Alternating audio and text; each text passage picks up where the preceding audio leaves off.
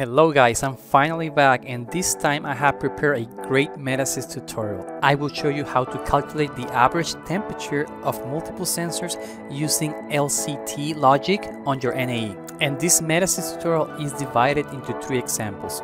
Number one, a simple average of three sensors. Not too useful if one of your sensors fail. Number two, an upgraded version of averaging your sensors meaning that if any sensor goes unreliable, make it go to a default value. That way we can calculate a better average. And number three, if one or more sensors go unreliable, we'll take them out of the equation and recalculate the average using only the good sensors. Of course, if any sensor comes back online, we will automatically reevaluate the average. And I call this the Controls Hero way. So let's get started. So I have here a standalone NAE55 Metasys version 11, but this tutorial will be good with earlier versions of Metasys. Okay, I will start by showing you the sensors that we have. So I'm going to go to my trunk 1. I have a zones controller, and I do have a VAV controller. So let me pull that for you. And you can see that we have uh, three zones under my zone controller and four zone temperatures under my VAV. Now I'm to go ahead and create the average of my three sensors. So I'm to go to my programming folder. I'm to go to my zone average example one. I'm going to insert a control system. I'm to go to next and I'm just to leave that name for now and finish and done. So here I created my system one. Now I'm going to go to view, panel layout and single panel to have one window. I'll double click on my system one. I'm gonna go to edit and here's when you where you create your LCT logic. And I can start by adding my three sensors. So I'm gonna expand my zones and I'm just gonna highlight my first sensor, go to attributes and input reference that's how you add it. Or you can do multiple ones. So I can shift click and select multiple ones and just drag over the input reference. And then I want to go to statistical button and then get my average. Now since we have three sensors, I gotta double click my average and pick three and click OK. Now I will make my connections and rearrange a little bit. And for this tutorial, let's write the average to an analog value. So I'm gonna go ahead and click on my folder where I have my uh, control system.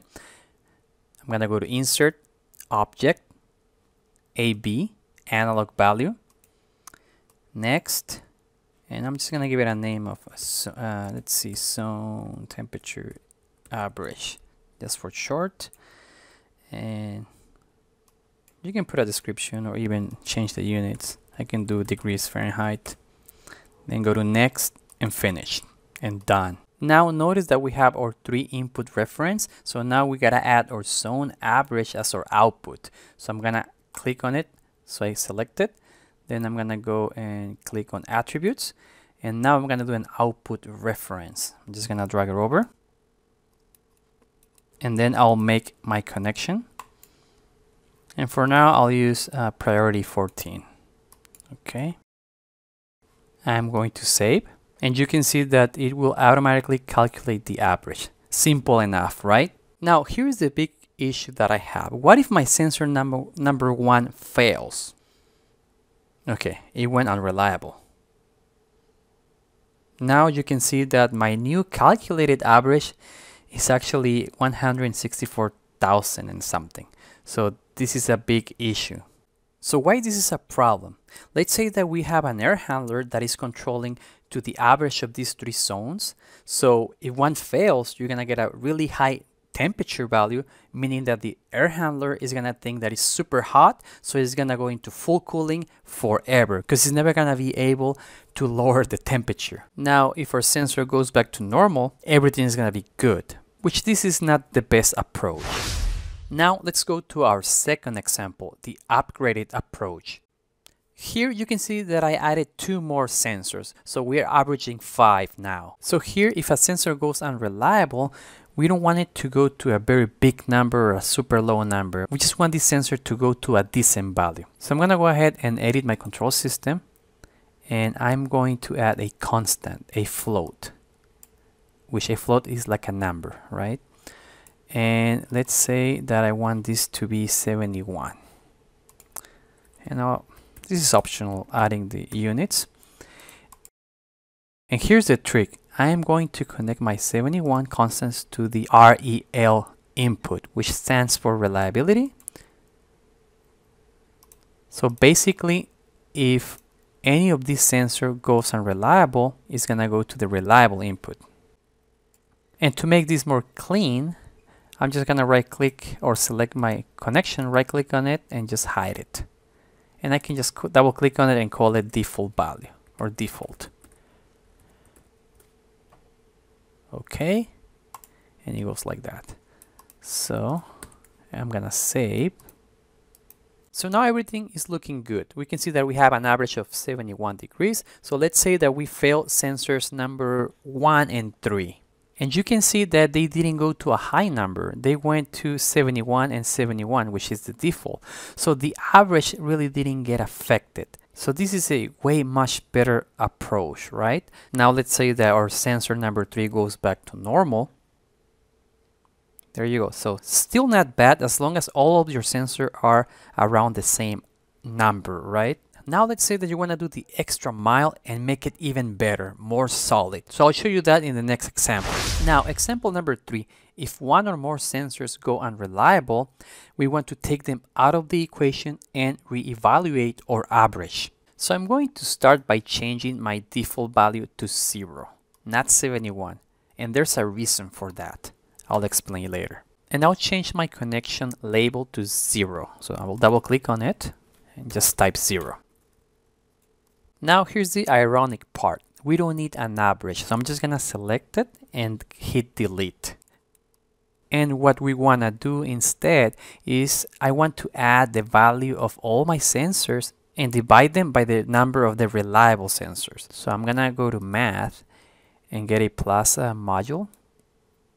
I'll double click on it and pick five because we have five sensors.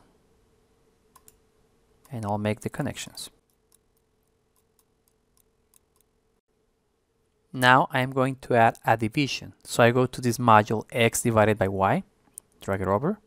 And so you can follow me, I'm gonna add a constant. I'll delete it later, but I wanna make a point. I'll give I'll give it a number five because we have five sensors. So if I add all my sensors and divide them by five, that's gonna give me the average, right? So I'm gonna save so you can see where we at. So what we have done so far, we have created an average manually by adding all my numbers and dividing them by 5. So let's test it and see what happens if we fail sensor number 2. So the sensors goes to 0 because that's my, that's my default value. And now our division goes all wrong, 57. This is not a good average, right? So if you look closely, we have a fail sensor and this sensor went to zero. So we are actually adding up one, two, three, four sensors, not the one that is unreliable because it's zero. So, so what is missing in the equation is to identify the number of sensors that are reliable. So we have four. So we need to divide this number by four, not five. This means that we need to add more logic to our control system. So we need to make our number five dynamic or variable, not to be a constant. So it will update as the number of sensors update. Okay, so here's the trick. It's gonna be a little bit confusing, but you will eventually get it. I want to count the number of reliable sensors. Like in this case, we have one, two, three, four reliable. So if I have four, I want to divide this number by four. If I have two sensors reliable, so I only want to count two. So whatever the sum of this and this will give me, we're gonna divide it by 2. So I'm gonna go to edit and I'm going to add a control, a this symbol which kind of stands for not equal. And the symbol is like a less than and greater than. So I'm just gonna drag it over. And I'm going to create five of these. So I'm just gonna click on them right click and duplicate or control D and I'll be moving things around.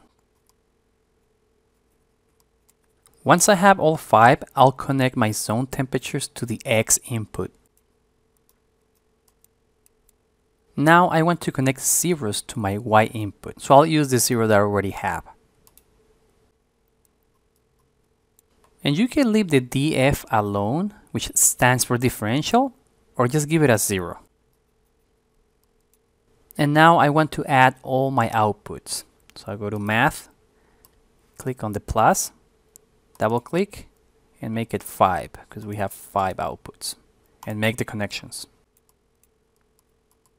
So this logic is going to count the number of good sensors. And I'm going to explain that soon. So now as you expect, this count is going to replace my number 5. So I'm going to click on it and delete it and just make the connection. And now I'm going to make it a little bit nicer so you can follow it easily.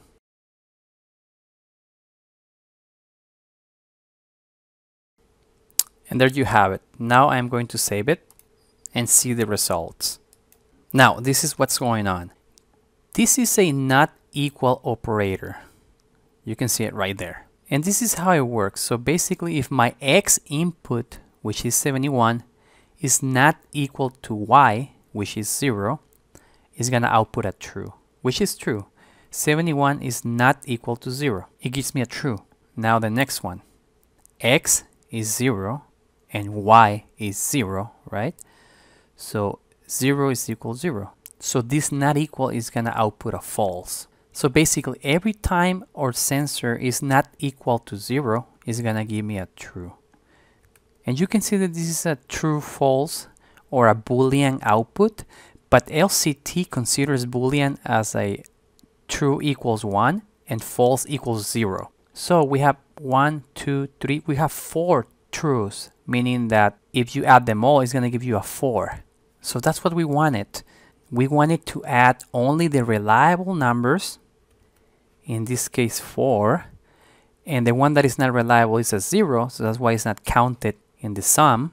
And the sum of these four numbers, we wanted it to divide it by the number of reliable sensors, which is 4. And now it's giving me an actual average. Now let's fail two more sensors. Now you can see that sensor number 3 is not equal 0. Sensor number 5 is not equal 0, so it's giving me a true and a true. So 1 and 1 equals 2. And the sum of 3 and 5 is 144, and we divide that by the number of reliable sensors, 2. And it gives me a true average. And this is it. Make sure you take a screenshot so you have it for your records and give it a try. Thank you very much for watching and if you like this video please give it a thumbs up and subscribe. And let me know what you think or if you have your own technique to make this simpler I would love to hear from you so please comment below. Thank you until next time.